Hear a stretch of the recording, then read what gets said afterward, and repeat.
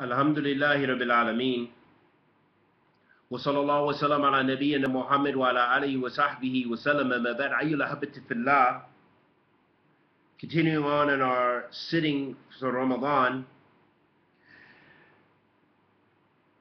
one of the manners we want to very briefly talk about is about controlling our anger, not becoming angry, and, and learning to control ourselves when we do become angry.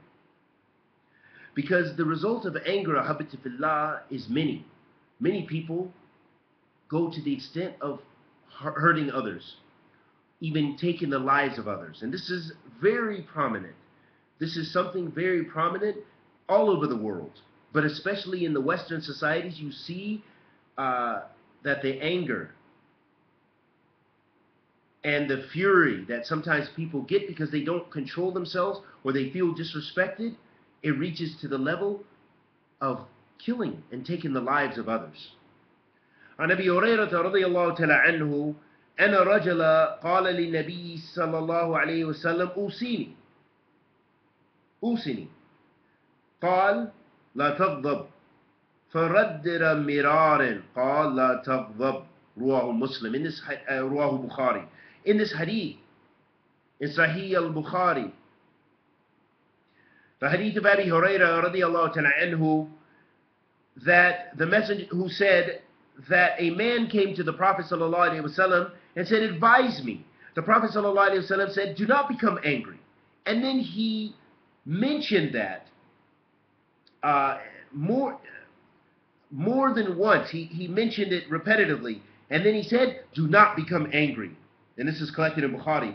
Ahabatifillah, Imam Ibn Rajab, rahimahullah ta'ala, one of the great ai and students of Shaykh al-Islam Ibn Taymiyyah, he said, with regards, he said it, it has two different meanings. He said one of the meanings is that what is meant by not becoming angry is actually a, a command to do those things which necessitate you doing something righteous from good manners. So, for example, from having uh, good, uh, being respectful, uh, understanding and accepting the qadr of Allah subhanahu wa ta'ala, not being quick to be angry, shyness, uh, humbleness, and so forth, and being a person who can control and cease to have do those things which are harmful. So this is one of the meanings. The other meaning he mentioned is that what is meant here is to not do uh, bad uh, deeds or not to, to, to act upon that anger. To not act upon anger when you get anger. And that you should strive within yourself to leave those things uh, which you are not which you're commanded to leave and what you're prohibited from and that anger should be uh, should be controlled. We know the consequences. So what about when we're fasting? We're hungry, we're thirsty, sometimes we become irritated and tired. You know, it's the test of, of fasting. And that's why the Prophet ﷺ said that when you're fasting, if someone eh, harms you, or they speak, they curse you, then say, Inni sa'im. Say that I'm fasting. Verily I'm fasting.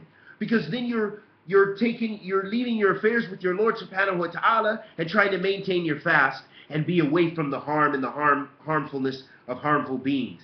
Ahabatifillah, anger and not knowing how to deal with issues according to Kitabillah wa Sunnatul Rasul sallallahu alayhi wasallam and having ilm to control that anger can cause detriment to our communities. And it does. It causes people to kill people. It causes people to hate people. It causes people to destroy lives of others.